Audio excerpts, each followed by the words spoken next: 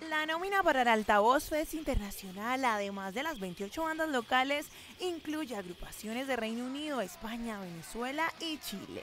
Hace dos años no se tenían artistas del exterior en esta tarima.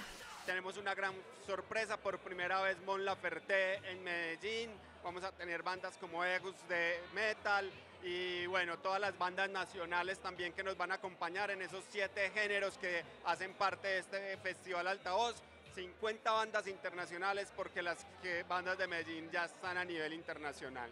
El reggae, el ska, el core, el rock, la electrónica, el punk y el metal se apropiaron de un escenario de alta capacidad en la cancha del Cincuentenario y el Parque Norte.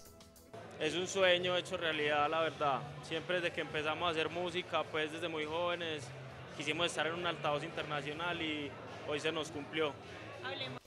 El Altavoz Fest Internacional es del 12 al 14 de noviembre. Conozca detalles del evento en las redes sociales arroba Festival Altavoz Fest y arroba Telemedellín. A veces las palabras enredan más.